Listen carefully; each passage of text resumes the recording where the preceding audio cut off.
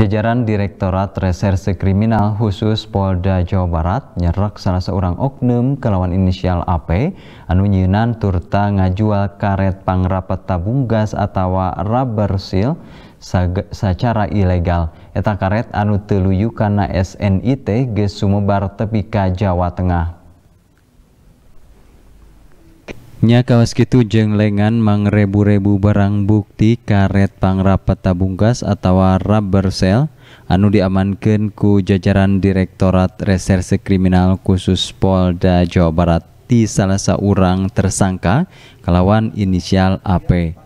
Eta karet pangrapat tabung gas ancokeun tabung gas teh diproduksi ku tersangka AA di Kampung Ciawi Kepuh, Desa Majasari, Kecamatan Cibiu, Kabupaten Garut.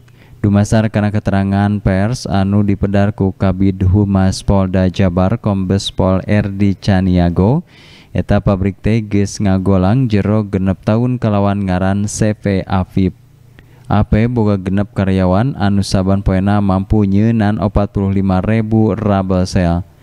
Kalawan oplah saban bulana ngahontal genep 10 juta Eta pabrik rubber cell teh teboga izin jeung teluyukana standar nasional Indonesia atau SNI kukituna boga potensi ngabahayakeun keselamatan utamana di rumah tangga anu marake tabung gas.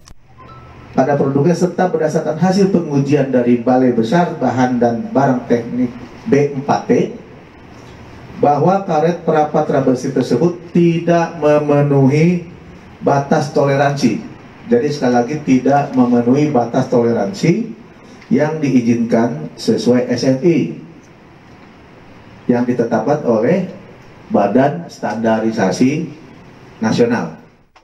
Bikin rubber cell anu geus kapalang dipasarkan pihak Polda Jabar rukun gawe jeung Disperindag bakal maluruh turta mulutan deui eta rubber cell ilegal teh.